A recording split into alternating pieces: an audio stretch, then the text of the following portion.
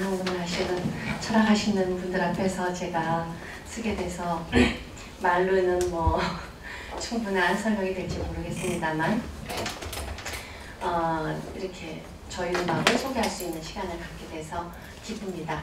제가 한복을 입고 강의를 한 건 아마 처음일 것 같아요.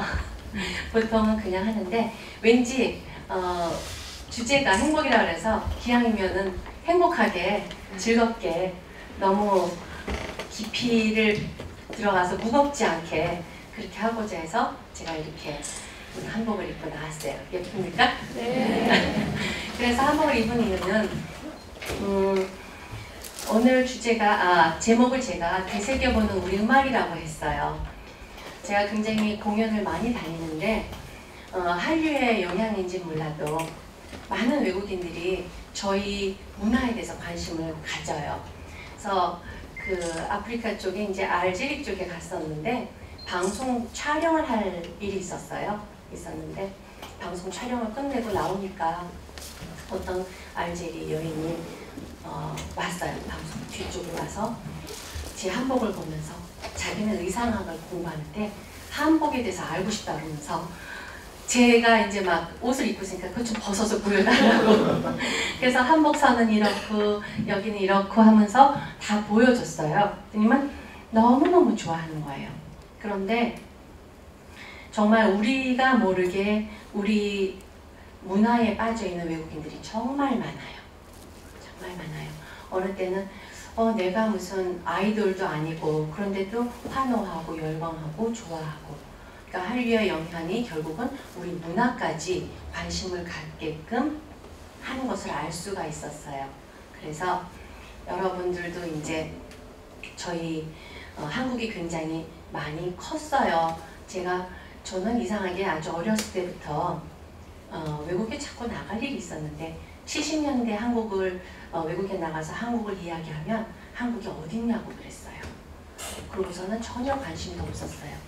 이제 요즘 88년을 기점으로 해갖고 올림픽을 기점으로 해서 한국이 굉장히 컸고 그리고 또 삼성이나 LG가 정말 우리나라를 알리는데 큰 역할을 했고 한국 문화에 대해서 어, 한국 많은 것들 음식이라든지 의복이라든지 이런 것들에 관심을 갖는 외국인이 정말 많고요. 외국 가서 함부로 얘기하면 큰일 나요. 한국말 잘하는 사람들 너무 많아요. 그래서 여러분들이 공부 열심히 하시고 많은 것들을 이미 숙지하셨지만 어, 오늘의 행복에 있어서는 우리가 어, 그렇게 관심 갖지 않았지만 아 내가 알고 보니까 정말 우리 것은 좋은 것이야 라고 작은 행복을 느낄 수 있구나 라고 생각하시게끔 우리 음악을 알려드리고자 합니다. 아시겠죠? 자 너무 무겁게 저를 무겁게 보지 마세요. 네, 그래서 어, 음악이란 무엇인가 라고 이제 제일 처음 질문을 했어요. 음악이 뭐죠? 라고 했을 때 어, 많은 분들이 음악에 대해서 너무 심오하게 철학적으로 다가가려고 하시는데요. 음악이라는 것은 어, 사회가 있으면 자연 발생적으로 나타나는 것이다 라고 적었어요. 그래서 사회가 있는데 왜 자연적으로 생겼지? 라고 했을 때 서양도 그렇고 동양도 그렇고 모든 음악은 종교로부터 와요. 그래서 그레고리안 찬트라든지 또 우리나라 무속에서부터 비롯되는 신화위라든지 이런 것이 다 종교음악으로부터 어, 나타나고요. 왜 그럴까요? 종교로 뭔가 나약한 인간이 신에게 어, 그들이 갈구하는 것을 바라는 것을 얘기하고 싶은데 그냥 얘기하면 뭔가 어, 덜한 것 같은 거예요. 그래서 음악적으로 소리에 어, 얹어서 소리를 얹어서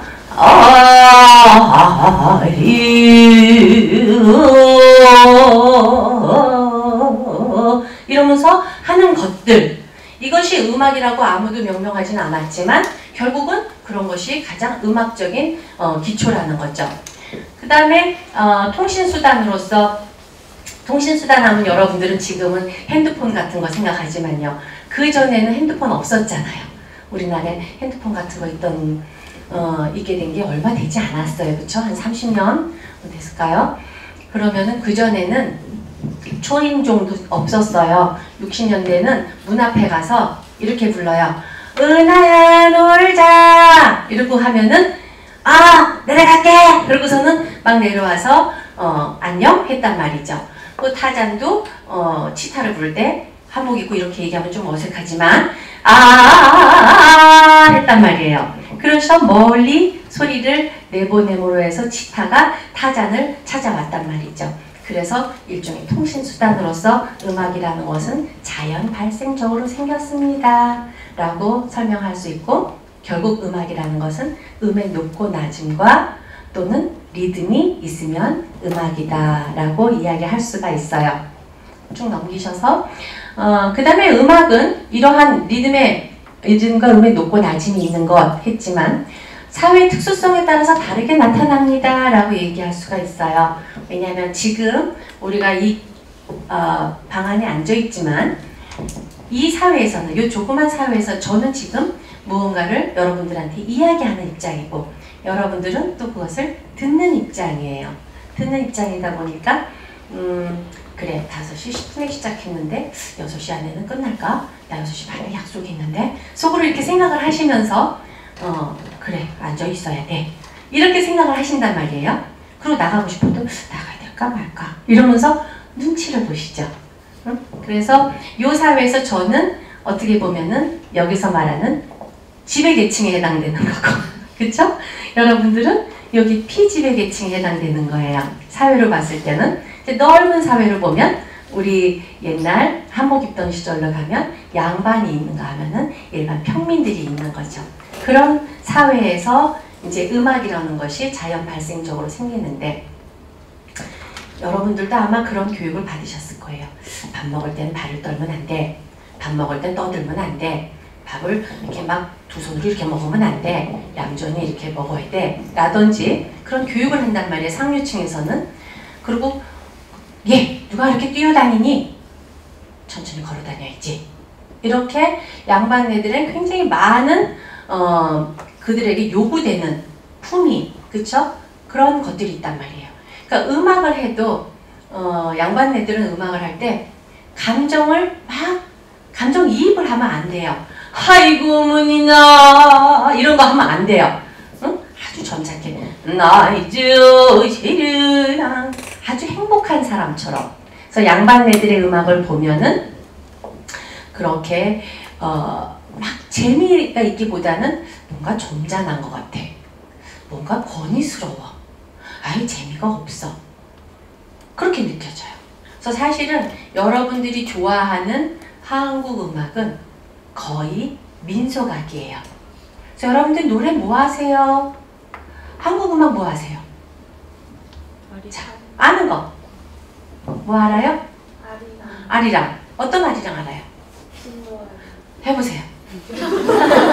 아리 아리랑 스리 스리랑 이거 알죠? 또 어떤 거 아세요? 릴리리아. 얼씨구 닐리리야 닐리리야 바타 일반 백성들이 즐겨하던 민요를 알아요. 그쵸? 또 어떤 거 아세요? 근데 여기서 이런 거 아시는 분 없어요. 동차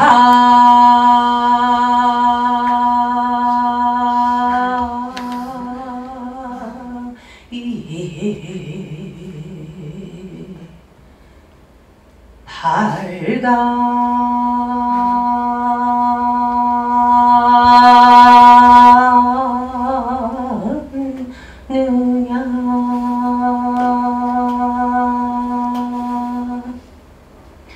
노구 할까봐 겁나죠.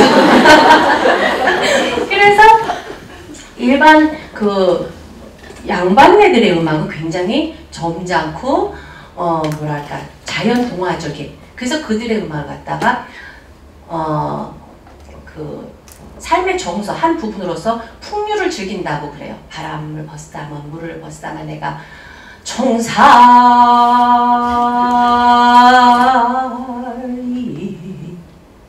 벽에 이러면서 평시조를 노, 이렇게 노래하면서 굉장히 그들의 품격을 갖다 이렇게 과시하는 거죠. 여봐라, 이리 오너라. 이런 그런 분위기를 자아내는 것이 이 지배계층의 음악이에요. 그래서 양반 음악들을 우리가 뭐라 그러냐면은 지금 이게 국악 지금 교육 시간인가 이렇게 하지만 사실은 매우 기본적인 건데 그걸 너무 어렵게 우리들은 생각하고 알려고 들질 않아요. 그렇지 않아요? 그냥 뭐 옛날 음악이야. 근데 사실 우리보다 더 잘할 수는 없어요. 그 누구도. 왜? 우리 것이니까.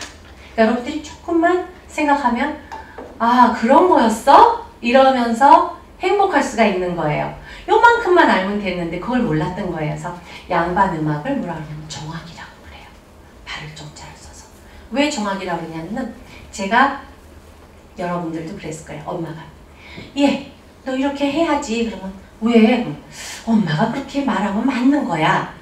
응? 내가 언제 너한테 틀린 말 하디? 사실은 틀렸어도 엄만 맞다고 우겨요. 그쵸? 나중에 세월 지나서 보면 물론 맞았을지도 몰라요. 그래서 이 지배계층은 항상 사고 속에 내가 하는 건 옳다라고 생각하는 거예요. 그래서 자기가 하는 음악은 정악이다. 이렇게 얘기하고 백성들이 하는 음악은 민속악이다. 이랬어요. 응? 민속악이다. 그래서 우리나라 음악은 이렇게 크게는 사회적인 구조에 따라서 양반네들이 하는 어, 굉장히 점잖은 음악 응? 그런 음악이 있는가 하면은 일반 백성들이 그들의 모든 감정을 이입해서 양반네들한테 감히 말하지 못하는 그것을 노래에 실어서 그래서 노래를 하기 때문에 그들의 음악에는 한도 있고 기쁨도 있고 흥도 있고 이런 거예요. 그래서 민속악을 들으면 우리가 신나요.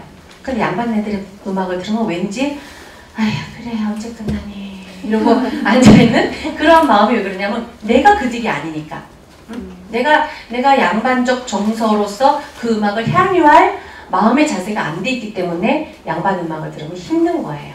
그렇지만 내가 조금만 눈을 감고 내가 그래 내가 임금이야 내가 지금 음, 영의정이야 내가 지금 어딘가를 가고 있는데 나를 위해서 연주를 해주고 있어 라고 했을 때 그 음악이 굉장히 품격 있고 나를 갖다가 올려주는 권위 있는 응?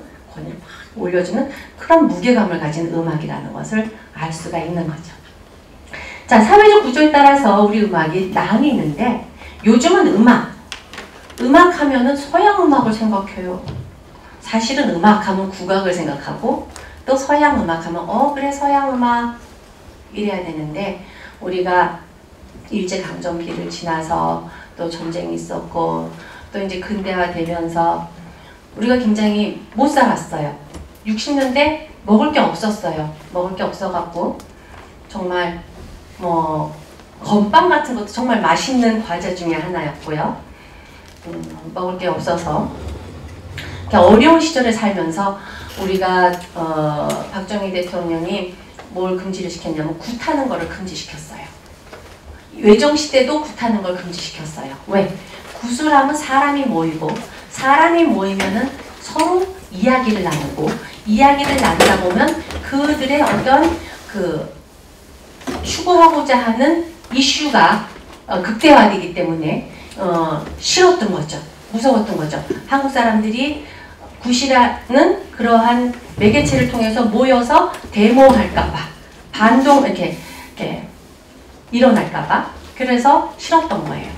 그래서 굿이라는 걸 못하겠어 우리나라 굿이 점점 점점 저 해안가로 밀려가게 됐어요.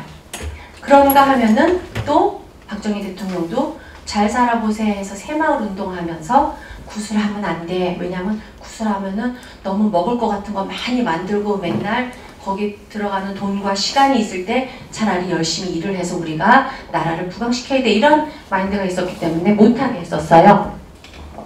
그랬는데 어쨌든 굉장히 중요한 음악들이 점진적으로 우리로부터 멀어져 가게 됐어요. 음악이 지금은 이제 국악하고 양악으로 나뉘고요. 근데 양악하는 사람들은 본인들이 양악한다고 절대 얘기 안 해요. 음악한다고 얘기하죠. 우리만 네 저희 전통 음악 해요. 네 저희 한국 음악 합니다. 이거 어떻게 생각해요? 이거 잘못된 거죠. 그래서 우리가 우리도 모르게 너무 그 빨리 어, 신장하기 위해서 그 어, 굉장히 힘들었던 우리의 그 역사 속에서 신장하기 위해서 우리 것들을 좀 잊혀져 가면서 여러분들 중에 한복 못 입는 사람 참 많죠. 우리 의복인데 그쵸? 근데 일본 사람이나 중국 사람을 보면은 자기네 의상 입은 거를 굉장히 과시하고 기모노를 입고 막 이렇게 다니고 이러면서 예쁘지? 이런단 말이에요. 우리도 스스로가 이쁘지? 이렇게 할 수 있게끔 여러분들의 어, 사고에서 우리 것에 대한 소중함 제대로 알려고 하는 마음 그런 것들이 있으면 참 좋겠다는 생각이 들어요. 그래서 국악을 이제 어떤 것인가 봤더니 아까 얘기한 것처럼 그래 정악도 있어. 그래 일반 백성들이라는 건 민속악이라고 그랬어. 그러면 정악에 뭐가 있는데 아 몰라 몰라 몰라 이게 아니라 이해라도 하자는 거죠. 사대문 안에 사는 양반네들 경복궁 안에 사는 궁중에 사는 임금님들 자 우리나라 음악이 많지 않아요. 왜 많지 않냐면은 우리가 편안하게 살아온 우리의 역사가 아닌 것도 그렇고요. 그 다음에 그러다 보니까 개중 많은 게 궁중음악이에요. 왜? 궁중에서는 어, 그들의 의식에 따라서 음악을 계속 했었어야만 했기 때문에 그나마 면면이 이어져 와갖고 제례학이라는 음악 우리가 제사 참 중요하게 여기잖아요. 어, 기독교인이면서도 또 제사가 어떤 뭔가를 빈다라는 것보다는 우리 조상을 한번 기린다라는 의미에서 제사를 해요. 그래서 제례 악이 있고요. 굉장히 중요시 여겼어요. 궁중에서는요. 그 다음에 무슨 행사가 있으면 우리 패컬티 컨서트 하거든요. 그렇죠? 그리고 학, 학교에 많은 행사가 있을 때 항상 음악이 수반돼요. 그래서 전화를 하세요. 요번에는 무슨 연주를 한 10분만 해주세요. 그 얘기 뭐냐면 음악이 주는 역할이 있다는 거죠. 그래서 연례학도 궁중 행사에 항상 빠질 수 없는 어, 부분이었어요. 그래서 연례학도 어, 굉장히 많이 전해져 내려오고 있어요. 그 다음에 또 임금님 행차할 때 빰빠라빰빰빰빰빰 이런 거 있듯이 어, 군악이 있는 거예요. 다진 아이루 단지라라지루지라디 무슨 군악이 그래?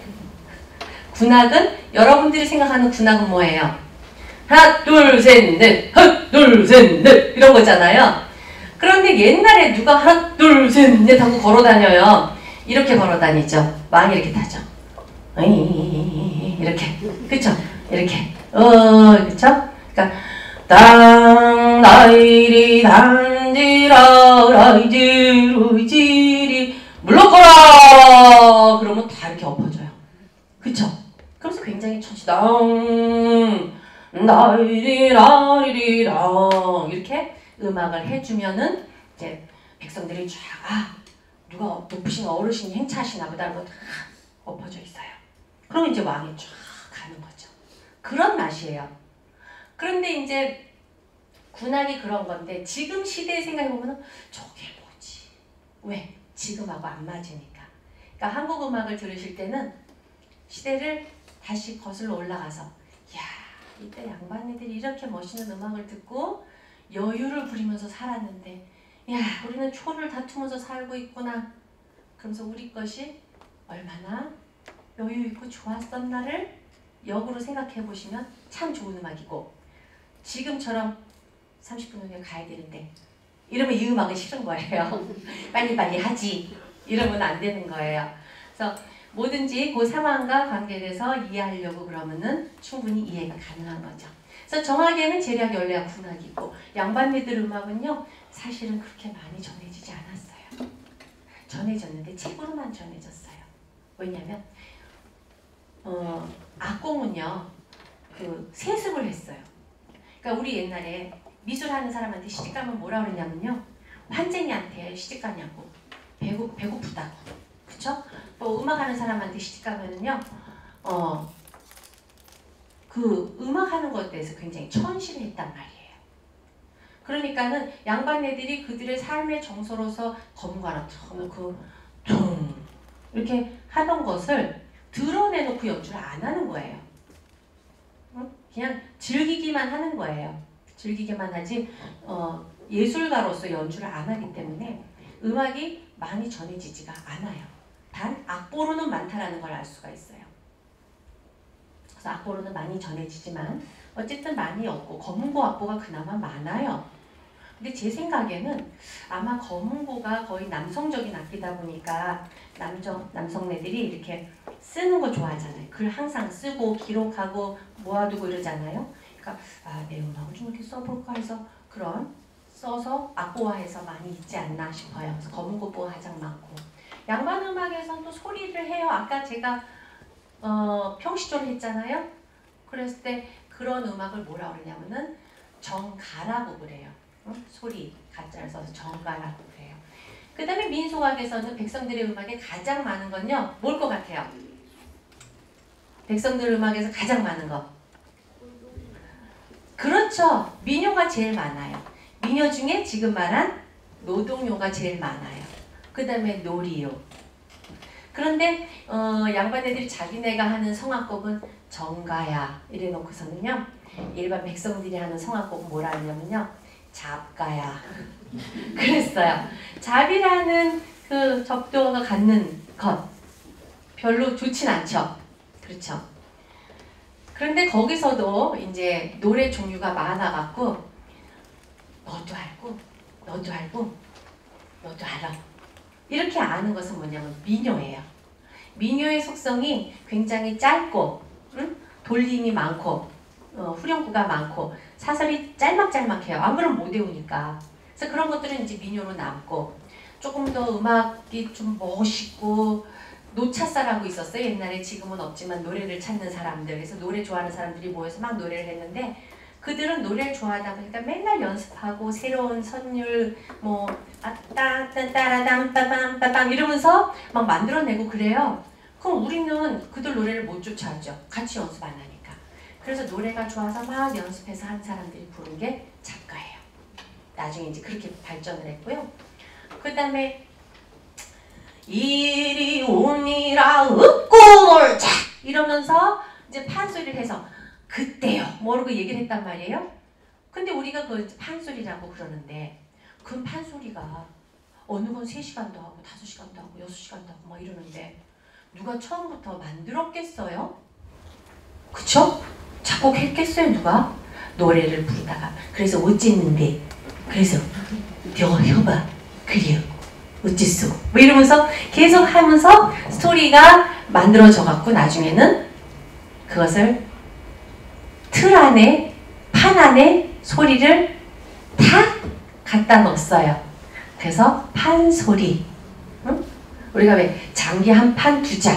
그럼 어떤 틀 안에 뭔가 어, 그 형식이 생기는 거잖아요. 그러니까는 판소리를 부르는데 진양도 부르고 중머리도 하고 중중머리도 하고 안일이도 하고 얼씨고 발림도 하고 막 이러자 이러면서 어떤 틀이 정해진 거예요. 그래서 판소리라는 것이 또 일반 백성들의 음악 중에서 또 사, 생겨나게 돼요. 그러니까 잡, 맨 처음에 어유 그래 니네들 음악이야 이랬는데 거기서 그래도 우리 음악이 예술성이 있어 우리가 좋아서 노래를 해 그래서 굉장히 어려운 선율과 다양한 기교 같은 거를 구사한 음악이 작가인데 저 작가 우리는 못 불러요. 전문가 아니면 작가가 웃은 게 아니에요. 그렇겠죠? 작가. 그 다음에 이제 기악곡 중에서 어떤 음악이 많냐면요. 아까 모든 음악은 종교로부터 온다라고 했거든요. 그래서 종교에서 이제 무당이 막 구슬해요. 이렇게 구슬하는데 이 구슬하는 거 본 적이 없으실 거예요. 왜냐? 저도 70년대 굿하는 거를 우리 동네에서 봤어요. 근데 그때가 제가 국민학교 때예요. 초등학교죠. 지금으로 말하면. 근데 집에 가서 우리 어머니한테 일렀어요. 엄마 엄마 저 굿한다? 그거 뭐예요? 잘못됐다라고 나는 알고 있는 거예요. 하면 안 된다라고 교육을 받은 거예요. 그래서 그때까지만 해도 서울에서 굿하는 데가 있었는데 점진적으로 이제 굿판을 볼 수가 없어요. 일부러 동해안 별신구, 진도 식긴굿 이러면서 돌아다니면서 봐야 돼요. 그런데 거기서 이제 음악이 만들어져요. 어디 좋다 뭐 이러면서 했겠죠. 저도 몰라요. 했어요. 막 했는데 어 이러고 했단 말이에요. 그러면 혼자서 무슨 흥이 나겠어요. 몰입을 해야 되는데 거기서 음악이 뭐 이렇게 해주면 자기도 모르게 막 작두 탄다 그러죠? 했을 거란 말이에요. 우리가 뭐 봤나? 저는 사실 봤어요. 어렸을 때 얼떨결에 봤어요. 여러분들은 못 봤어요. 봤는데 거기서 악사가 막 연주를 해주는데 도대체 언제 신이 이 무당한테 무당이라는 어, 그 직업은 신과 인간을 매개하는 매개자예요. 음. 근데 우리가 그것이 종교로서 형성이 안 된 것은 무당에 대한 어떤 그 역사적인 서술들이 빈곤해서 제대로 확립이 안 돼 있어서 종교로서 정착을 못했고 그냥 어, 어, 우리가 지금 다른 종교와 배척을 하는 그런 상황인데 어쨌든 이게 음악을 막 해줘요. 그럼 그 얘기 뭐냐면요. 이 음악을 하는 사람은 이 무당이 언제 음악을 끝낼지 모르니까 자기도 모르게 계속 몰입을 해서 해요. 그러니까 이들의 skill이라는 것은 그 음악적인 역량이라는 것은 대단한 거예요. 이 사람이 한 시간을 이러고 뛰고 있을지, 응? 그리고 또 언제 별안간 울을지, 울어? 우는 게 뭔데? 우리 음악은 굉장히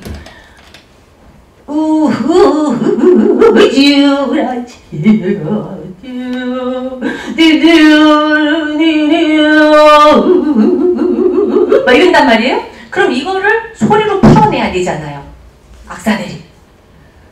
그러면은 거의 그것을 정말 동일하게 이미 그 가는 길을 다 알면서 악사들이 음악을 가져가니까 그 얼마나 잘하는지 몰라요.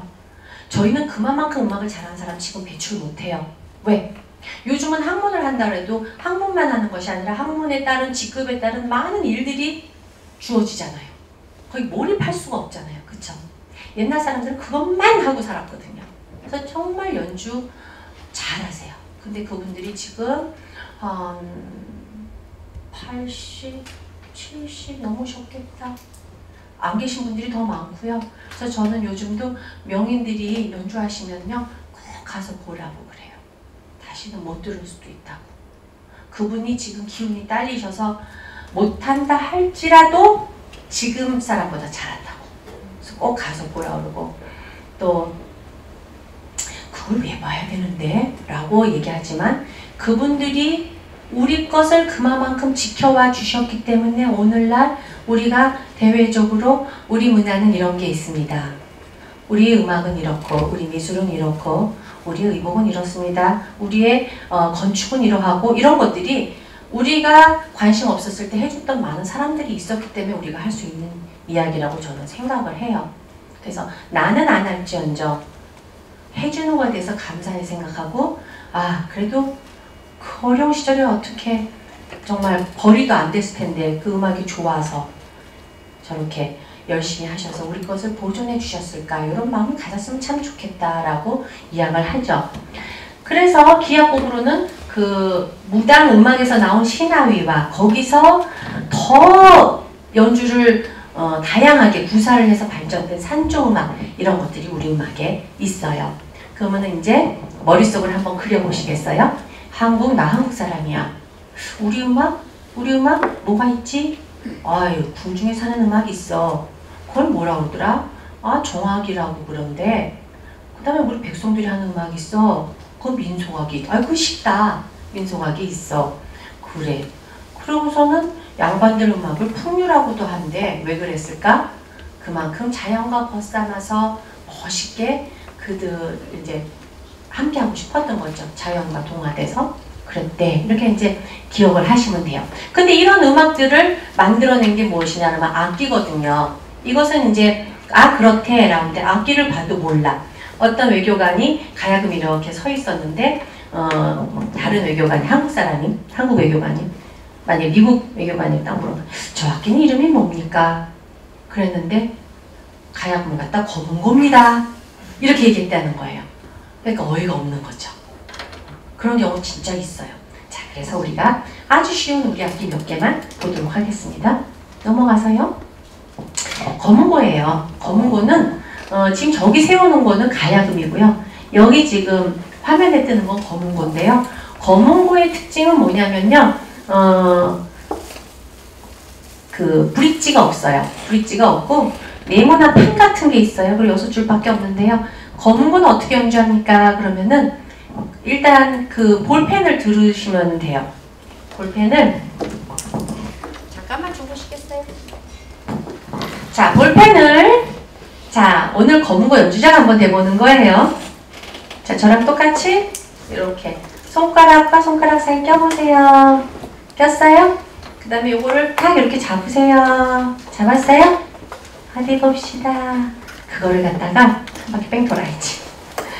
두둥 하고 치는 거예요. 두둥둥둥둥 뭉 이렇게. 그러니까 아래 위로 옆으로 말고요. 빵! 뜰! 이렇게 살갱 뭐 이러면서 이제 연주를 하는 거예요. 그런데 이 악기가요.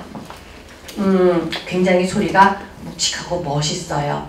남자 남성스러운 악기예요. 검은 거는 여섯 줄이고요. 줄 이름도요. 그 양반네들이 전놨어요. 그 문현과 내 몸에서 가까운 거 문현, 저쪽에 무현, 그리고 내가 가장 많이 연주를 하는 노는 곳, 내가 많이 가장 노는 데를 유현, 그 다음에 줄이 국다 그래서 대현, 그 다음에 또 하나는 그 괴 위에 있다 그래서 괴상청, 또 하나는 괴 하에 있다 그래서 아래에 있다 그래서 괴 하청 이런 식으로 이름을 해놨는데 그것까지는 안 해오셔도 돼요. 그것까지 아나 그런 거 몰라. 그런데 건건 어떻게 연주해요? 그러면 음 볼펜 같은 걸로 해. 그것만 알아도 어디에요? 볼펜 같은 걸로 해. 그래서 어 저도 항상 누군가한테 저한테 물어봐요. 그게 언젠데? 그러면은 숫자에 약해요. 그래서 검거 언제 우리나라에 있었지? 고구려에 검거 있는 건 알겠어. 고구려 고분벽화에 보면은 검거 이렇게 연주하는 거 있어요. 이렇게 쫙 이렇게 연주하는 게 있는데 언제지를 자꾸 잊어먹어요. 오늘 시점으로 절대 잊어버리지 마세요. 조금 외우려면 어느 때는 다양한 사고를 해야 되니까 검은 거는 48이야. 안 무서운가? 그래서 어, 왕산악이라는 그 연주자가 4세기에 있었대요.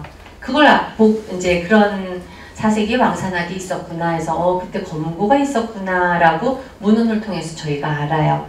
그 다음에 그 다음에 옥보고라는 아주 훌륭한 연주자가 8세기에 있었대요. 그래서 음, 검은고 되게 오래됐구나. 4세기면은 300 몇 년 뭐 이렇게 우리 추정할 수가 있죠. 근데 정말 몇 년부터 있었다라고 딱 서술할 수는 없어요. 그쵸? 그 옛날에 누가 검은고 누가 먼저 만들었는 줄 알고 그렇게 적겠어요. 그러다 보니까 유명한 연주자가 있었습니다. 라는 그 시점을 갖고 아 그때 있었구나 라고 우리가 이제 추정을 하는 거죠. 그래서 검은고가 자세히 있었던 악기입니다. 라고 한다면 가야금 넘어가 봐. 자 가야금 있어요. 저것도 저예요. 저것도 전데 가야금은 두 가지가 있어요. 정악가야금하고 산조가야금이 있어요. 그래서 궁중에서 쓰는 가야금이 있고 일반 백성들이 썼던 민속가야금이 있어요. 그래서 왼쪽에 있는 것이 궁중에서 썼던 정악가야금이고 오른쪽에 제가 잡고 있는 것이 산조가야금이에요. 근데 가야금은 12줄로 되어 있어요. 12줄로 되어 있는데 음, 역은요. 어, 우리가 세 옥타브가 있어요. 세 옥타브가 있는데 첫 음은 나이지지 세 음밖에 없어요. 한 맨 아래 옥타브는 음역은 그 다음에 중간에 또 오음이 있어요. 나라라라라 요거 뭐라 그러냐면 우리는 요거까지는 여러분들이 알기 어렵지만 그래도 혹시 음악 교육 받으셨죠? 장점 뭐예요? 장점 그런 거 몰라. 도레미파솔라시 이거 장조예요. 그거 아시죠? 도레미 도미 도미 레미 파파미 레파미 파솔 이러면서 알아요? 그런 것처럼 우리가 아리랑 아시죠? 아리랑 아리랑 아. 요 오음이 우리가 갖고 가는 평조예요. 우리가 좋아하는 음의 계단이에요. 음계예요. 여러분들이 도레미파솔라시라는 걸 알듯이 한국 음악에는 아리랑 아리랑아 아라라라라 아리랑 아리랑아 이것이 한국 음악에서 갖고 가는 음의 계단이구나. 아유 몰랐어. 아 나 전혀 몰랐어. 모르지. 그 다음에 또 하나 계단이 있는데 단주라는 게 있어요. 근데 우리 단주 잘 모르죠. 나에서 시작한데 단주 별로 안 쓰는데. 그런 것처럼요. 한국 음악에서도 조금 어려운 음의 계단이 있어요. 뭐냐면 계면조예요. 계면조인데 그건 너무 어려워갖고 나라라라라 나라라라라라디라라라 요런 음의 계단인데 나나 요게 되게 어려워요. 나이지 황협 황협 중임 무임 중협 황 황협 이게 어려워서 안 해. 그러다 보니까 협중이 딱 빠지고 황중 임중 황중 요게 사문 계면조예요. 그래서 새가 날아든다 보면은 새가 날아든다 왠가 접새가 날아든다 황중 임중 중 중임 황 황중 임중 중 세음만 갖고 있죠. 황중 황중중 황중 황중중 중중중 임중 황 네, 중임 황중중 이렇게 한단 말이에요. 그래서 제가 일부러 여러분들이 그 음의 계단을 알, 알으시라고 황중임중 황중 이걸로 노래를 했어요. 그렇게 세 수로만 이루어진 음악이 있어요. 그러니까 우리나라 음악은 크게는 아리랑 아리랑 아 라고 하는 음의 계단으로 가는 음악이 있는가 하면은 진도아리랑 같이 가는 음의 계단을 갖는 음악들이 많이 있어요. 물론 민요에 따라서 뭐 어, 동부 민요는 조금 다르고 또 서도 민요도 음의 계단이 조금 다르고 하지만 우리가 그렇게 디테일하게는 모르고 그래도 어느 정도 요거야 하는 것만 지금 가르쳐 드렸어요. 어려우세요? 재미없으세요? 괜찮으시죠? 음. 음, 그 다음에 그래서 저도요 제가 가야금을 전공하지만 아 나는 가야금이 언제 생겼는지 외울 때마다 힘들어 자꾸 잊어먹어 그래갖고서는 기억을 한 게 3669, 369, 369, 12 자, 여기서 빠지는 숫자 뭐 있어요? 9. 그쵸? 뭔데? 무슨 얘기야? 아, 가르쳐 드릴게요. 보통 책에는요, 맨날 가야금은 진능왕 시절에 있었었다. 이렇게 얘기를 해요.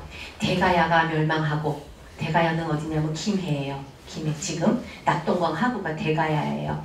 그래서 거기서 멸망을 하고 언제 676년에 멸망을 해서 우르국에 가야금을 싸들고 진흥왕한테 갔더니 진흥왕이 어 너 음악 연주를 잘하는구나 그래 계속 해라 그래서 잘 음악을 연주할 수 있도록 진흥왕이 도와줬다는 거죠 그래서 진흥왕이 몇 세기냐라고 했을 때 6세기인 거예요 신라의 왕인데 그래서 그렇게 책에는 항상 적혀 있어요 그래서 저도 항상 가야금은 6세기부터 우리나라에 있었지 라고 기억을 하면서 살았는데 어느 날 보물을 하나 발굴했어요. 그 보물이 뭐냐면 벌써 넘어갔네. 미추왕 고분에서 저렇게 예쁘게 생긴 토 장식 항아리가 발견이 됐어요. 저 어, 토 항아리를 갖다가 장경호라고 얘기를 하는데요. 미추왕을 봤더니만 신라의 제13대 왕이면서 3세기에 계셨던 분이라는 거예요. 그래서 거기에 가야금이 있어서 어 가야금이 진흥왕 시절이라고 생각을 했는데 그것이 아니구나. 그래서 요게 가야금이에요. 요게 가야금인데 가야금 여기서 가야금을 타고 있어요. 그래서 이게 가야금 하단이에요. 이게 좌단이고 그래서 이렇게 연주를 하는 거죠. 이걸 보고서는 아 그랬어. 근데 여기 이제 나중에 여러분들도 기회가 되시면은요 경주 박물관에 매표를 하고 바로 들어가면서 보이는 게 에밀레 종이고 그 옆에가 본관이고 이쪽 뒤쪽으로 별관이 있어요. 별관에 가면 이 항아리가 굉장히 귀하게 놓여 있는데 저는 이거를 보러 가갖고서는 열심히 봤는데 안 보이는 거예요. 분명히 여기 그래서 왔는데 그래서 알고 봤더니 제가 본 거는 벽 있는 데만 막 보고 다닌 거예요. 그때 가운데 있어요. 돌아가면서 보라고 이렇게. 그래서 어머 그러고서 이제 열심히 봤죠. 그랬더니만 요 요렇게 조그맣게 만들어서 흙으로 빚어서 놓는 것을 토우라고 그래요. 토우라고 그러는데 여기서 연주를 하고 여기서 성교 행위를 하고 여기서 뱀이 막 지나가는데 개구리가 잡아먹을 아 개구리를 뱀이 잡아먹으려고 하고 뭐 이런 다양한 토우들이 붙어져 있는데요. 어 그렇게 얘기한대요. 이 항아리가 아마도 추측컨대 많은 분들이 관심을 갖고 그 항아리를 봤을 거 아니에요? 정말 멋있기도 하고 뭔가 의미가 있을 거다고 봤는데 어, 물론 그게 맞을지 안 맞을지 모르지만 이 항아리는 아마도 어, 다음에 이듬해에 뿌린 곡식 씨앗을 갖다가 저장해뒀던 것이었을 것이다. 그러면서 통을 빚어서 놨을 때 음악을 통해서 어, 바라고 농사가 잘 되게 해주십시오 하고 기원하면서 그 악기랑 놨을 것이고 또 그 성교하는 행위는 결국 결국은 이제 생산의 의미를 갖고 했을 것이다. 이렇게 학자들이 이제 다들 논의를 하셨다라는 말을 어디서 읽었어요 제가. 그래서 아 그렇구나. 그런 의미를 갖고 이런 것들을 붙여놓고 거기다 저장을 했다라고 본다는 것이죠. 또 이제 어, 세월이 지나서 다른 어, 논지를 얘기하실 분도 있을 수도 있겠지만 어쨌든 가야금은 굉장히 오래 전에 이 남한의 저 아래 낙동강 하구에 있었다라는 것을 알 수가 있어요. 자 그러면 이제 한국의 가장 대표되는 현악기 가야금하고 거문고를 알았어요. 거문고 연주는 그래 볼펜으로 해. 그 다음에 이제 분명히 잊어버리실 거예요. 사팔은 잊어버리실 거고 사세기는 잊어버리실 거고 자 가야금은 낙동강 하구는 기억이 나. 응? 낙동강 하구는 기억이 나는데 적어도 그건 아시죠? 가야금은 몇 줄? 12줄. 그러면 12를 계속 30 나, 내려가는 거예요. 9, 6, 3. 그쵸? 12, 9, 6, 3. 그러면 3세기부터 가야금이 있었어. 절대 안 잊어먹어요. 검은 거 혹시 잊어먹을 수도 있어. 그런데 옛날부터 있어서 굉장히 오래된 우리의 악기였다라는 거 잊지 마세요. 자, 아까 우리가 언니야 검은 고소리 한번 들려봐 드렸어야 되는데 안 들려줘 드렸어. 한번 저거 준비해 왔으니까 한번 들어보자.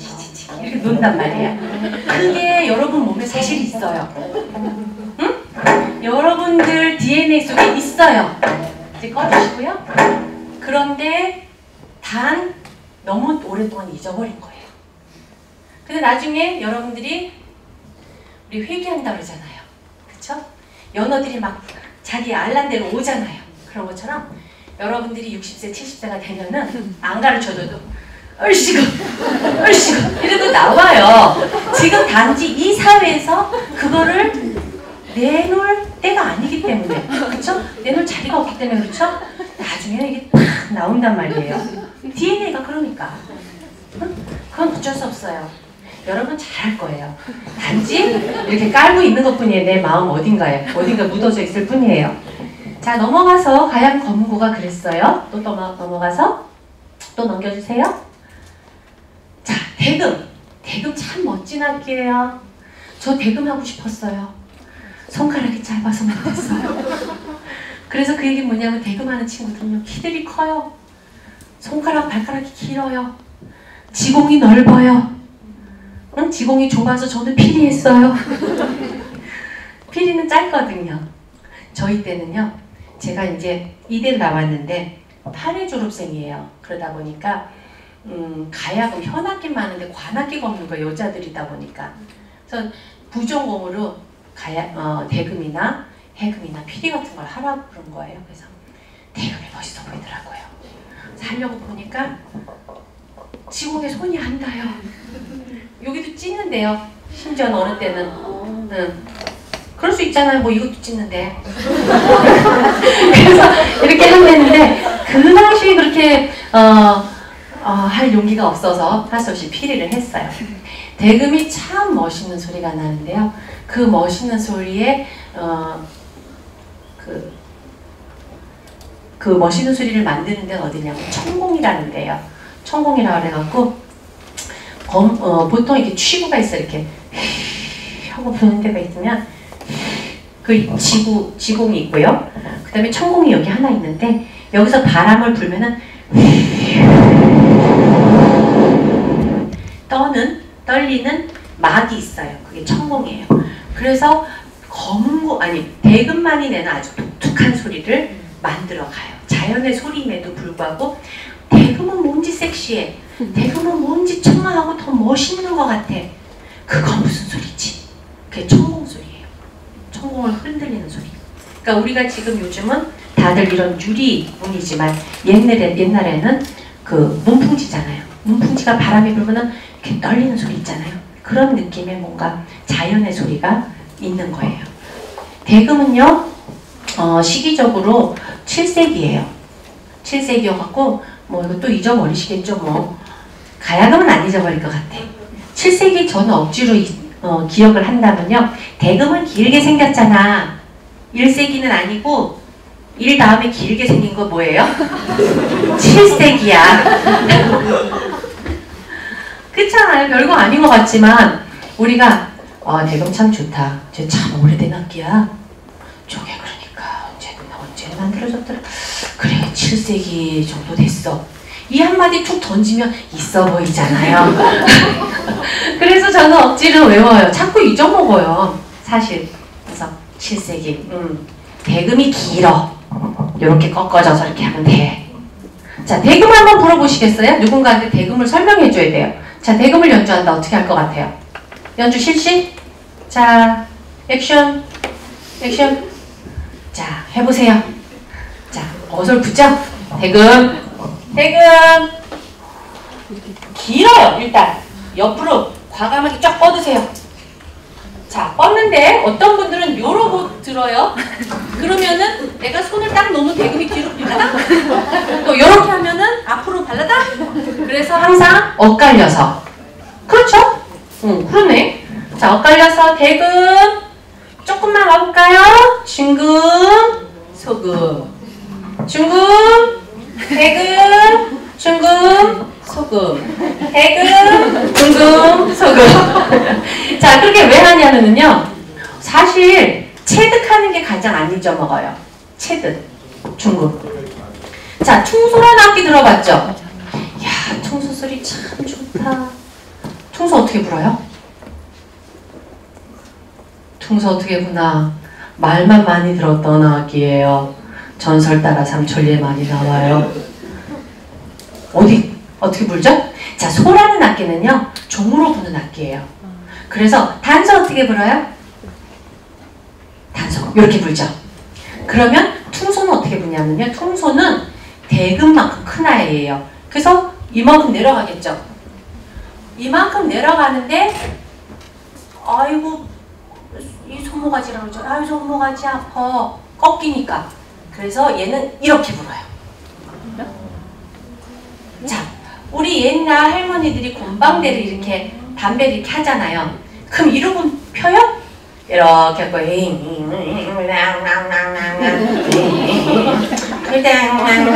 이랬단 말이에요. 응? 그러니까 이렇게 잡는 것이 편하다는 얘기예요. 누가 가르쳐 주지도 않았는데 통소라는 애는 이렇게 불어요. 이렇게 잡고 이해가 되죠? 응. 그래서 통소는 소라고 하는 애들은 다 종으로 부는 악기고 금이라고 하는 애들은 다 회로로 부는 악기예요. 그러니까 다음부터 퉁소 소리 참 좋다 이럴 때는 그 퉁소는 종으로 부는 악기라는 걸 생각하시면서 말씀하셔야지 대금을 연주하고 있는데 야 퉁소 소리 좋아 이러면 아니 되옵니다. 아셨죠? 금금금 소 단소 퉁소예요. 소라는 악기가 있어요, 사실은. 소는 이렇게 불어요. 이렇게 마치 펜플루처럼 하나씩 하는 거거든요. 이 악기는 별로 안 쓰니까 모른다 치고 단소는 많이 하잖아요. 그러니까 소라고 하는 둥소, 단소. 아시겠죠? 음. 자, 그래서 대금이란 악기는 7세기부터 있었던 악기예요. 한번 해보시, 해볼래요, 조금?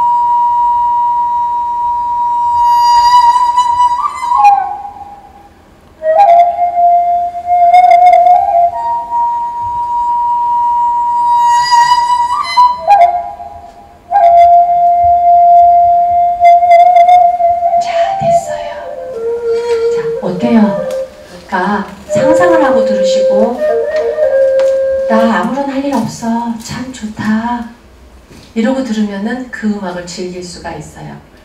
근데 뭔가를 자꾸 하려고 들으면 음악이 아, 왜 음악 이래? 이런단 말이에요.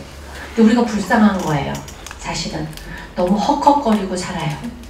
그래서 여러분들이 이런 뭐저 장사꾼은 아니지만 대금곡 하나 정도 CD 탁 틀어놓고 여유를 삶의 여유를 잠시라도 가지면 여러분들이 다시 에너지를 재충전하는데 정말 좋아요. 좀 여유가 있어야 가만히 있어 내가 오늘 뭘 하기로 했었는데 이런 생각도 하지 여유가 없으면 뭐 있지 뭐 있지 뭐 있지 이러면서 다니잖아요. 그쵸? 음, 그래서 삶의 여유를 이런 좋은 음악을 들으면서 가지시길 바래요. 넘어가서 어, 좋아도 자꾸 틀면 안 돼요. 자, 피리. 피리는요, 만만하죠, 피리. 피리. 근데 피리가요, 사실은요 정말 멋있는 소리가. 저 제가 피리를 했다라고 그랬잖아요. 손가락이 짧아서 이렇게 하는데 피리 참 힘들어요. 피리는 뭐가 다르냐면 아까 대금을 이렇게 제가 불었어요. 입이 으 해갖고 불었어요. 단소는 오 해갖고 불어요. 피리는 어떻게 불게 해요? 동영상을 찍는 관계로 제가 차마 못하겠지만 입에다 서를 서를 입에다 딱 물어야 돼요. 그러니까 리드가 있어 이렇게 업 그래서 이만큼 음, 개구리가 무악 하듯이 무악 무악 무악 그래서 예쁘진 않지만 그 소리는 정말 멋있어요. 어, 어, 이번 주인가 채플에 어, 피리하시는 선생님이 연주를 해주셨는데요. 학생들이 너무 좋아하더라고요. 그랬어요. 근데 피리도요 종류가 많아요. 자 보면은 어, 세 피리가 있어요. 맨 왼쪽이 세 피리고요. 그 다음에 향피리라고 한 게 오른쪽이고요. 가운데 있는 게 당피리예요. 그럼 뭐가 다르지? 라고 하면 일단 두께가 달라요. 두께가 다르고요. 세 피리는요. 어, 가늘다라는 뜻이에요. 그러니까 세발낙지하고 같아요. 가늘다. 그래서 가늘다란 얘기는 뭐냐면은 소리가 높은 음역에서 난다. 아주 소리가 작다. 이런 얘기고요. 그 다음에 가운데 있는 벌써 듬직하게 생긴 애는 소리를 부르면은 낫겠죠. 굉장히 야, 왜, 뭐가 이런 그런 어떤 무게감이 있는 그런 악기예요. 그 다음에 이제 향피리는 그거보다는 조금 더 높은 그래서 여기서 향피리니 당피리니 했을 때 갖는 의미는 어, 지금 우리가 서양 음악, 국악 이렇게 얘기하듯이 그 당시는 국악하면 향악, 그 다음에 서양 음악 하면 중국의 음악들이 거의 들어왔기 때문에 당악 이런 거예요. 근데 당악이 갖는 음의 높이와 향악이 갖는 음의 높이가 달라요. 그게 무슨 소리지? 라고 하면은 우리가 제가 지금 이렇게 저희 음악을 설명을 하고 있는데 예를 들어서 그 일본 사람들이 얘기를 할 때는 이런 음높이보다는 어 하야 고자이마스 건니치와 미나사마 이렇게 올라간단 말이에요. 응? 음이 좀 높아요. 그런가 하면은 이제 미국 사람들이 뭐 이렇게 얘기했으면 조금 조금 낮아요. Is there anyone who's there? 이렇게 조금 낮단 말이에요. 그런 것처럼 음 갖고 가는 음의 높이가 그들이 좋아하는 음의 높이가 있고 우리가 좋아하는 음의 높이가 있어요. 그러다 보니까 할 수 없이 그쪽 계통의 음악, 우리 계통의 음악 이래서 당하기니 향하기니 있고 그러다 보니까 빵꾸를 뻥뻥뻥뻥 뚫었을 때 어, 걔네 음악이 조금 더 낮아 중국 음악이 그래서 조금 더 두꺼워야 되고 우리 음악이 조금 더 높아 높은 걸 좋아해 그래서 조금 더 얇아요 그래서 향, 어, 향피리하고 당피리의 굵기가 다르다라는 것은 음의 높이를 달리한다라는 것을 볼 수가 있어요. 그 다음에 이제 보통 대나무가루 만드는데 신우대라는 게 있어요. 신우대 처음 들어보시죠? 대나무가인데요. 빨리 끝내야 되는 거죠. 근데 우리 시간이 어, 토론하는 시간도 있던데요. 그쵸? 그래서 제가 해도 돼요. 그래서 신우대가 뭐냐면요. 전 너무너무 궁금했었는데 하루는 저기 창경원에 갔었어요. 창경원에 갔는데 어떤 아저씨가 어 저게 신우대가 있네. 그래서 아 신우대가 뭐예요? 네, 저게 신우대입니다. 그래서 아저씨는 그걸 어떻게 아세요? 네, 저는 원회사예요. 그래서 아 근데 이게 왜 있어요? 그때 는저 신우대가 굉장히 딱딱하기 때문에 비상시에는 활로 썼습니다. 그래서 궁중에는 신우대가 많이 있어요. 그러더라고요. 그래서 아 그랬군요. 그러면서 하나 배웠어요. 아 신우대가 굉장히 딱딱한 대나무과에 해당하는 나무구나.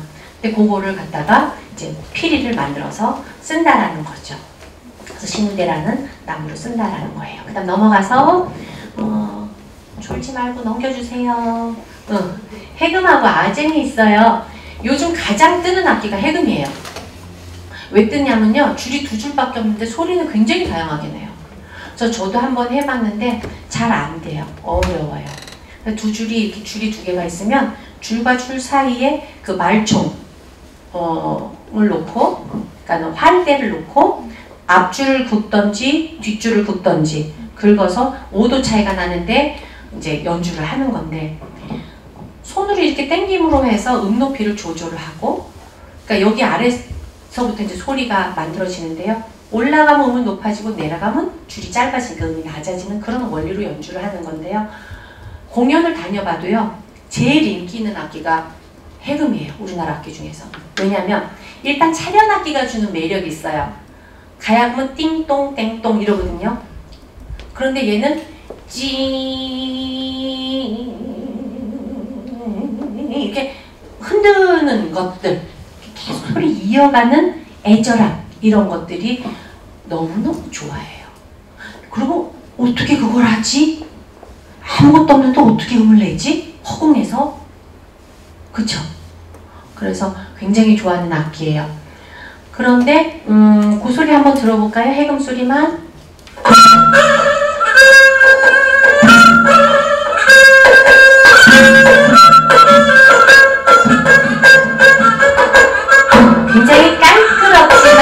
예쁘죠?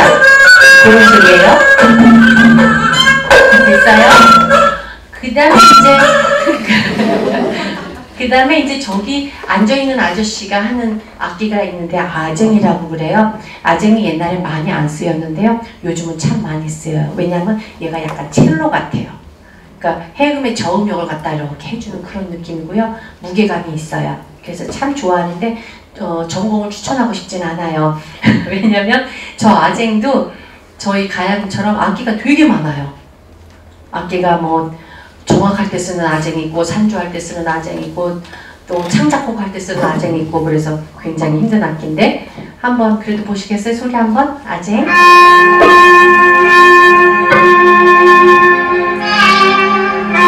얘는 어떻게 연주를 하냐면요 앞뒤를 긁어서 연주를 해요 그래서 이렇게 해서 눌러서 이렇게 쭉 누르면서. 그래서 이, 이 악기도 차려놨기 때문에 참 그냥 이렇게 이렇게 탁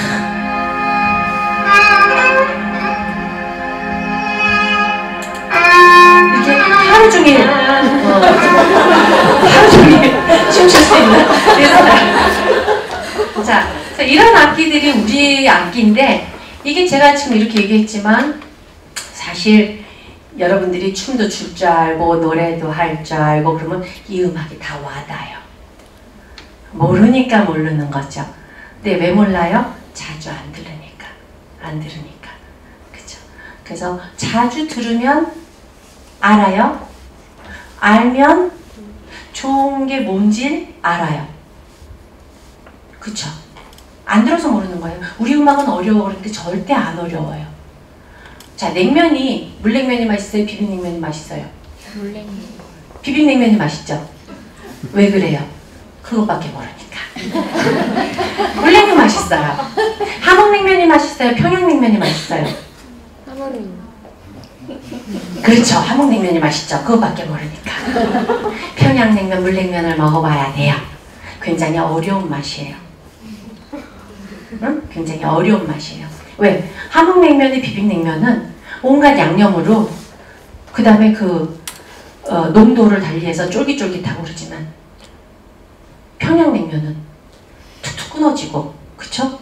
툭툭 끊어지고 그러면서도 담백하고 동치미, 육수 이런 그 깊이 있는 맛을 요하는 거거든요. 많이 먹어봐야 뭐가, 뭐가 맛있는지 알아요.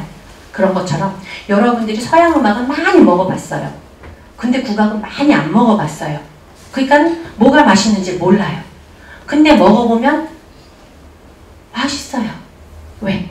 이미 내가 알고 있는 거를 모르고 있었던 것 뿐이에요. 그래서 여러분들이 자꾸 국악을 들으면 야, 그 우리 삶, 우리의 정, 뭐 이런 것들이 어, 느껴지는 거죠. 음악에서. 지금 좋잖아요, 사실. 저만 좋은지 모르겠지만. 그래서 해금이나 아젠 같은 악기들이 우리 신금을 울리는 이유는 찰변 악기여서 그래요.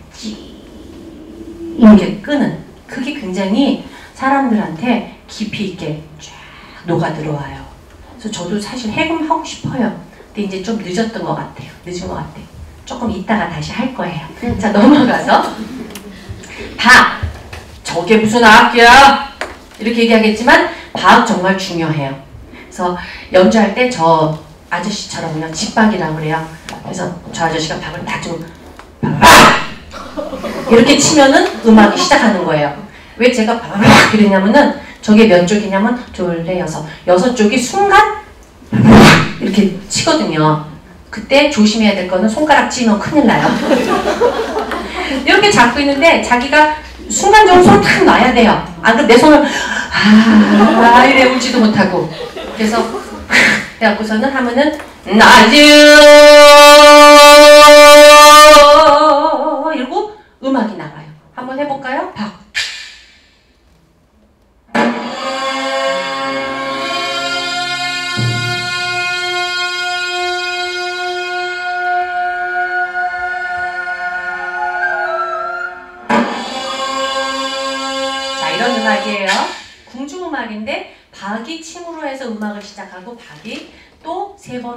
해서 음악을 끝내요. 그래서 제가 어렸을 때는 박치는 아저씨가 제일 부러웠어요.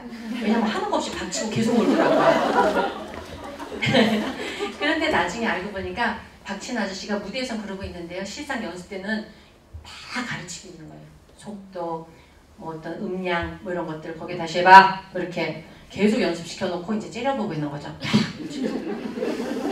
그러고서는 박을 박박박 치고서 끝나고 이제 집에 가면 혼나는 거죠. 그 다음날. 어, 왜 들렸어? 네, 선생님. 이러는 거예요. 그래서 박은 어, 한국 음악에서는 지휘자예요. 아시겠죠? 그래서 박달나무로 만든대요. 쉽다. 박달나무로 만든대요. 제가 또 이것 때문에 궁금해서 막 전화해요. 악기 만든 아저씨한테. 박달나무로만 만들어요? 그랬더니 아니 요즘은 대추나무로도 만들어요. 그 얘기 뭐냐면 대추나무도 굉장히 딱, 딱딱하다는 얘기예요. 딱딱해야 될 거 아니에요. 그쵸? 박을 맨날 빡빡빡 하고 치는데. 자 넘어가서 그 다음에 이제 우리가 그 학문관에서 허구한 날 보는 악기들이에요. 저는 거기서 볼 때마다 아, 가서 가르쳐 주고 싶어. 왜냐면 얘네들 굽신이 안 돼요. 전, 저저저기, 전, 저저저기, 전, 저저기, 전. 그, 헐, 지지지지, 좀. 좀, 저, 그, 저, 저, 저, 저기, 좀. 이렇게 하면은 이게 왔다 갔다 해야 되는데 얘네들이 응, 더, 더, 더, 더, 더, 이래요. 그러면은, 아, 아 저걸 내려서 가르쳐 줄 수도 없고 그 선생님이 얼마나 잘 가르쳤을 텐데 그러면서 그냥 어, 이렇게 들으면서 지나가면서 고마워하죠. 아 그래도 니네들이 그걸 해줘서 참 좋다 이러면서 가요. 여기서 보면 이제 꽹가리, 장고, 북, 징이 있어요. 근데 조개 있는 것도 북이에요. 그래서 북이 두 가지 종류가 있거든요. 그래서 사물놀이 할 때는 이런 북을 치지만 저쪽에 있는 북은요 소리북이에요. 그래서 판소리 할 때 딱 이렇게, 이렇게 치는 북이에요. 그래서 어떻게 치냐면은 지금 북이 없지만 쿵딱 그래서 이리 오너라 웃고 놀자 객점을 치고 이리 오너라 웃고 놀자 이러면서 막 이렇게 이렇게 치는 그러한 거예요. 제가 다 가져올 수가 없잖아요. 손이 없어서. 그래서 북이요 참 멋있어요. 제가 장구를 좀 치는데 어느 날 북이 치고 싶더라고요. 북이 갖는 맛이 다르거든요. 손맛이. 응? 쫙 달라붙는 맛이 다르단 말이에요. 야! 이렇게 탁 치는 그 맛. 대점을 갖다 으! 치는 그 맛이 아주 좋아요. 그래서 제가 이제 북 치는 선생님한테 가서 배웠어요. 그때 선생님이 아이 박 선생님은 뭐 조금만 치면 되는데 사실 애들 틈에 가서 배우려고 했다가 이틀 만에 다 배우고 그냥 와버렸어요. 하산하세요. 내려왔어요. 그래서 타악기가 있어요. 한번 볼까요? 뭐 조금 찡드리는 거 뭐. 이거 무슨 악기죠?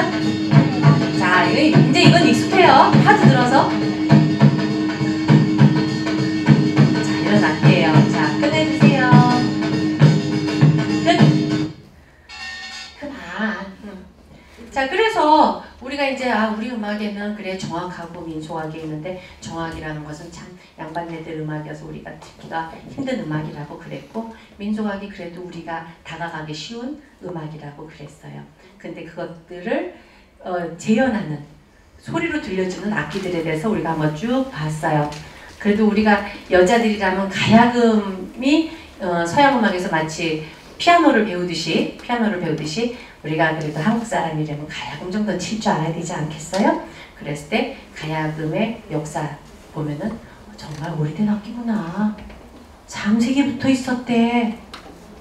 그쵸 자랑스럽지 않아요? 그거를 여, 여지까지 가지고 왔다라는 것은 우리 조상님들한테 감사해야죠. 그쵸? 그런 악기들이 있었어요. 자 그러면 이런 악기들 갖고 노래를 했어요. 노래를 했는데 그 노래 속에는 우리가 좋아하는 리듬이 있어요. 그래서 리듬 넘어가서 자 아니야 이제는 넘어가서 세마치 장단이에요. 자 이거 하나만 해보죠 뭐. 그 정간보예요. 저 위에 빨간 거는 정간보 누가 만들었어요? 광화문에 계시던데 이분.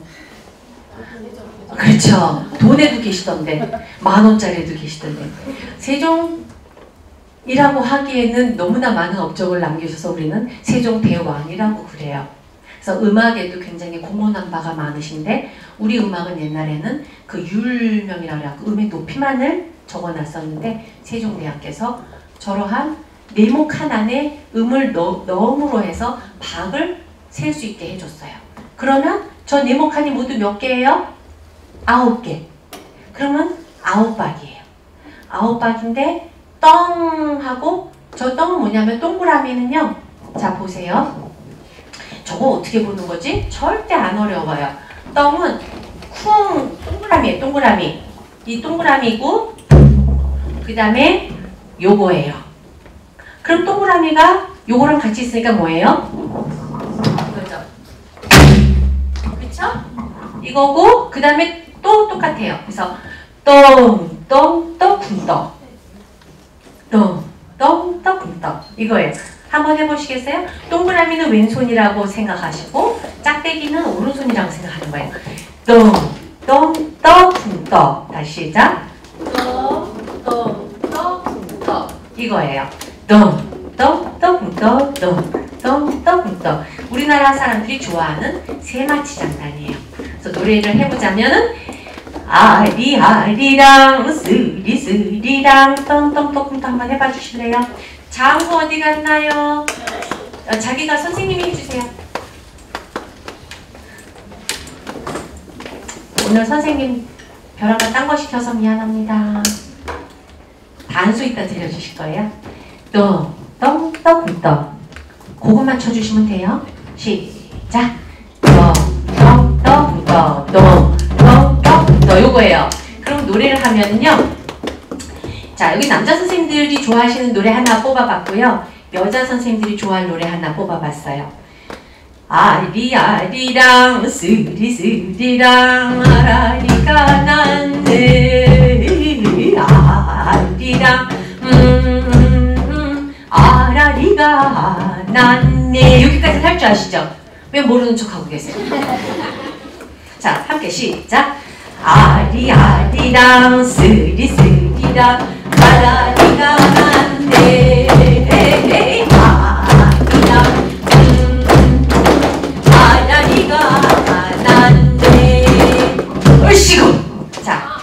다음에 자 요거 누가 부르면 좋겠어요 1절을? 자 이거예요 해당화 한 송이들 와자지지 끈꺾어 우리님 머리 위에 뭐라고 적어놨 오자를 볼까 그쵸? 우리님이 이렇게 어머 자기야 사랑해 이러면서 해주고 싶은 거예요. 뭐? 자 해당화 시작 해당화 한 송이를 어떻게 꺾어 와자지지 끈 꺾어 우리님 머리 위에 모자를 볼까? 다 함께. 아리아리랑 스리스리랑 아라리가 난데 아리랑 음 아라리가 난데 자 이제 남성 동지들. 어떻게 하냐면요. 좀 나아져요 음이 춥냐 덥냐 해보세요 시작 춥냐 덥냐 어쩌래요 내 품 안으로 들어라 좋죠 시각이 좀 아- 이른가요? 9시쯤 할 거 그랬나? 다시 시작 춥냐 덥냐 내 품 안으로 들어라 베개가 높고 낮거든 내 팔을 베어라 그쵸? 사설 마음에 들죠? 다시 시작. 춥냐 덥냐 내 품 안으로 들어라. 베개가 높고 낮거든 내 팔을 베어라. 난 열심히 배웠는데. 이걸요 제가 사실은 이런 사설은 잘 없어요. 그쵸? 처음 보시죠? 보통 우리가 뭐 해 어, 뭐 뭐하더라? 어 청천 하늘에 뭐 잔별도 많고 이런 사설 하잖아요. 모스코바의 어떤 꼬마 지금 그 꼬마가 언젠가 영화도 한 편 찍었더라고요 최근에. 허 갖고서는. 걔가 5학년 땐가? 모스코바 이제 상트에 갔는데 페테스브로크에 가서 공연을 가는데 제가 북을 쳐줬어요. 그러면서 판소리를. 그때 이제 꼬마들을 위한 어떤 그 세계 각국의 모임이 있었어요 그래서 아기를 데리고 갔는데 그러니까 노래를 하는데 그 어린애가 요 노래를 하는 거예요 얼마나 앙증 먹기도 하고 너 그 사설의 사설의 의미를 아느냐? 웃기잖아요. 애가 이런 걸 부르니까. 그런데 그 참에 자꾸 해보라고 그래갖고 제가 배웠어요. 재밌죠? 자, 똥덕 떡다. 손이요 자꾸 마찰을 하면 좋아요.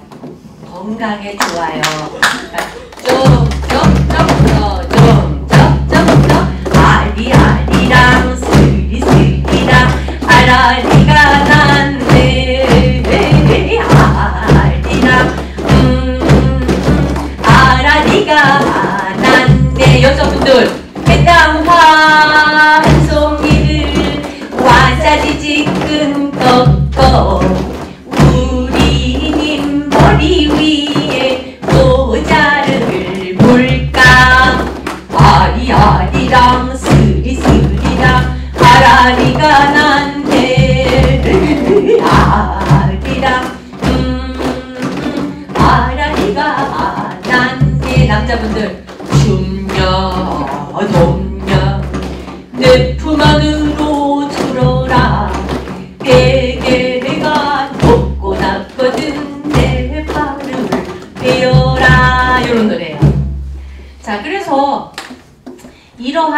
장단이 지금 전혀 낯설지 않으시죠? 근데 알, 안, 제가 가르쳐 드리니까 쉬운데 옛날에는 어떻게 치셨을 거냐면 뻔해요. 아리 아리랑 스리 스리랑 아라리가 나 그쵸? 박을 센다는 게 거기까지 한계셨겠죠? 근데 사실은 똥똥똥똥 요게 우리 맛이에요. 봐, 보세요. 똥똥똥 이렇게 좀좀좀좀좀 좀좀좀좀좀좀좀 요러한 리듬형이 우리가 좋아하는 리듬형이었었나 봐요. 그러니까 서양 음악에는 강량약, 중간량약 뭐 이런 게 있었는데 우리는 이렇게 어 좀 하나 둘 셋 둘 둘 셋 둘 둘 셋 이런 식으로 어 각을 맺는 이렇게 액센트를 주는 시점이 조금 달랐어요. 마지막으로 넘겨주세요. 그 다음에 여러분들이 가장 많이 어, 들었던 노래였는데 알고 보니까 참 쉬웠는데 몰라서 못했어요. 자 장단을 쳐보면 똥기도 떠쿵따 하나 둘 찍고예요. 자 해볼게요. 그냥 해보세요. 시작. 똥기도 떠쿵따 하나 둘 찍고 계속 합니다. 제 노래할게요. 요- 요즘만 해요. 시작.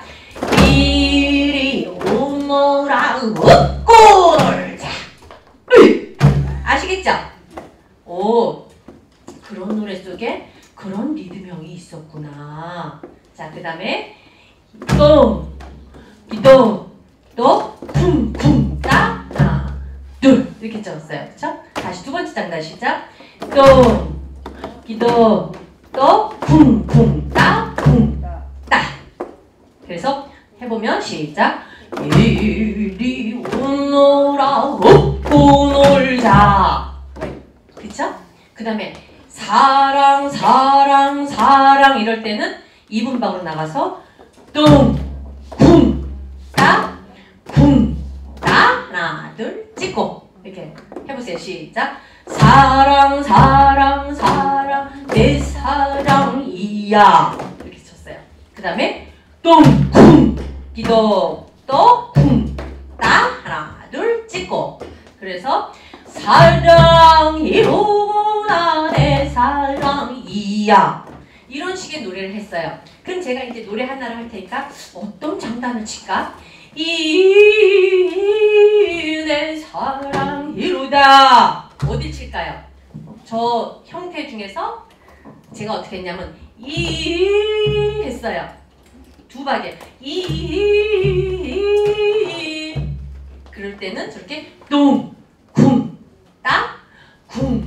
따 하나 둘 찍고 이런 장단을 치는 거예요. 그래서 우리 음악 속에는 여러분들이 아 장단이 참 어렵다. 하지만 사실은 쿵 좋다. 얼씨구 쿵 좋다. 얼씨구 아홉 박에 액센트만 주면 되는 거야 열두 박 중에서 뚱 을, 알, 시도 좋아요. 너, 자, 짜게, 을, 시고, 요거예요. 안 어렵죠? 별거 아니죠? 몰라서 어려웠어요. 아니까 별것도 아니에요. 자, 한번 해봅니다. 처음부터 이렇게 쭉 내려가 볼게요. 시작. 이리 오너라 웃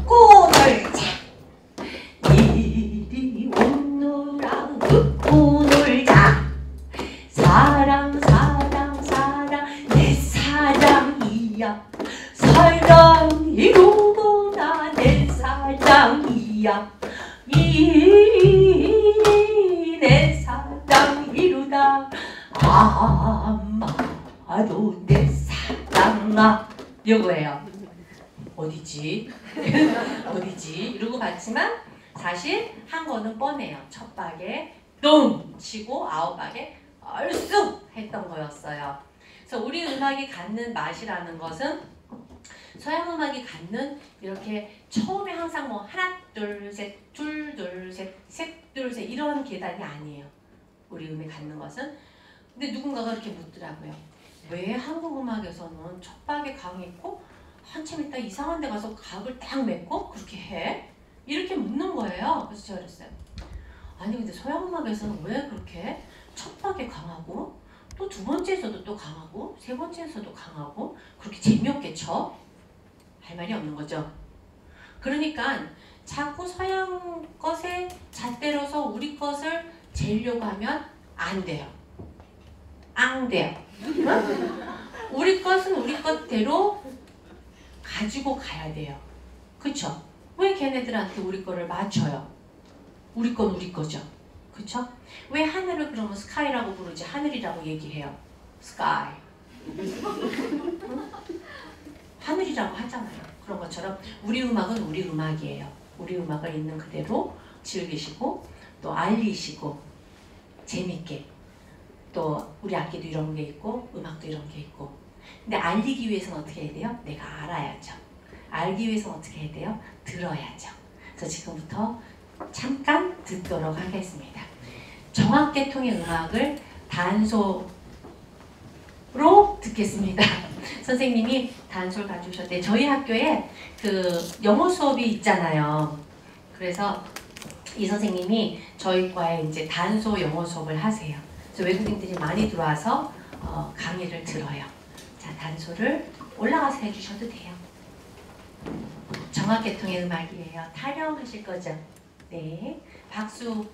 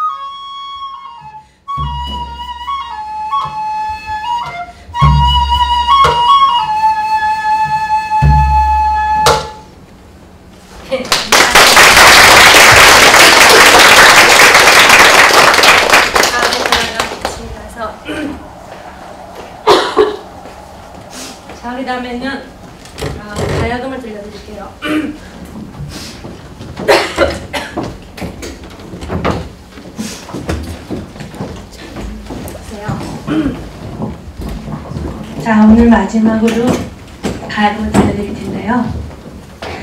가야금을 사실은 어떤 소리가 날까? 저, 저 음악을 감상하는 법은 뭘까? 저걸 내가 왜 듣는 거지? 이런 생각을 하면서 들으실 때가 많을 거라고 생각이 돼요. 왜냐면 무슨 소리를 내려고 하는지 모르니까. 그래서 가야금을 한번 제가 어, 설명하면서 들려드릴게요.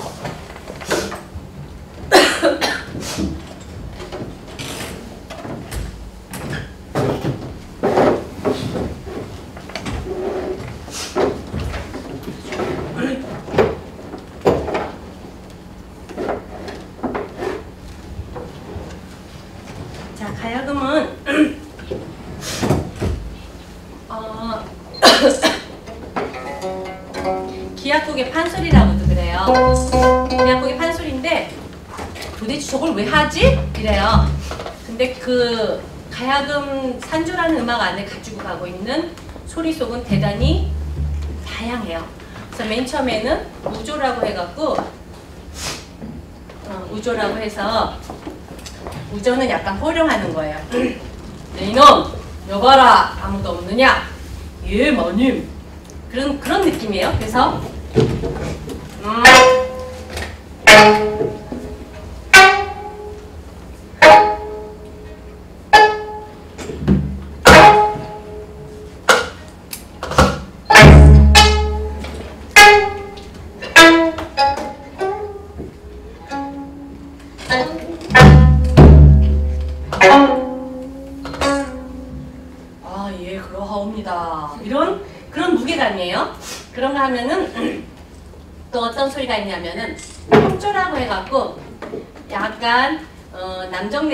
도포를 타고 춤을 출 것 같은 넘실넘실 출 것 같은 자 그런 건데요.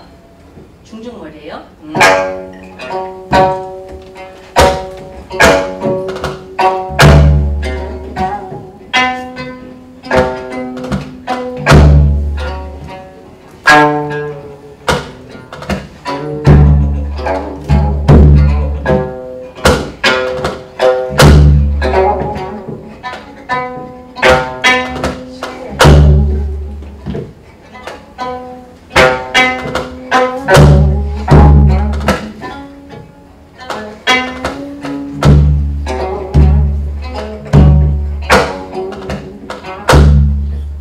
주부할 것 같은 그런 소리를 내는가 하면은 또는 그 판소리에서 슬플 때 나오는 계면조라고 그래요. 저희는 슬픈 거를 계면으로 나올 때가 있어요.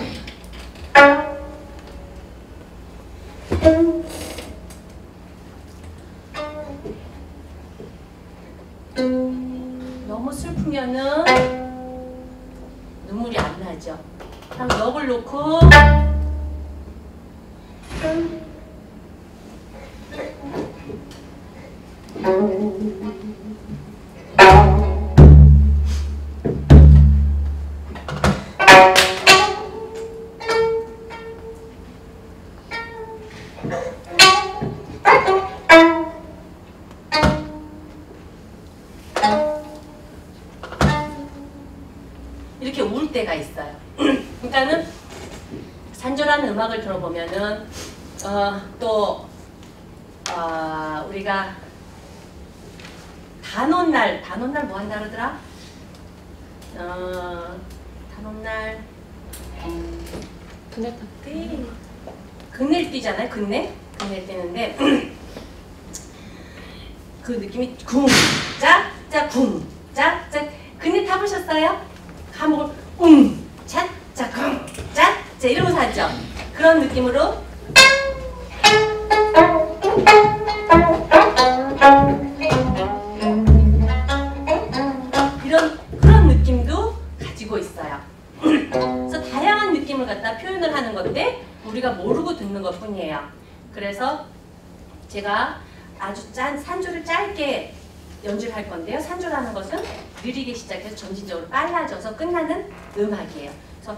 도대체 저 뭘 얘기하려고 하는 걸까? 관심을 갖고 들으시면은 아실 거고요. 그냥 연주하나 봐 이러면은 모르실 거예요. 자, 맨 처음에는 우조로 나갑니다. 그러다 평조로 갔다가 계면조로 갔다가 또 계면조로 갔다가 그런 식으로 이제 넘나들어요. 자, 자, 조금만 마지막 연주입니다.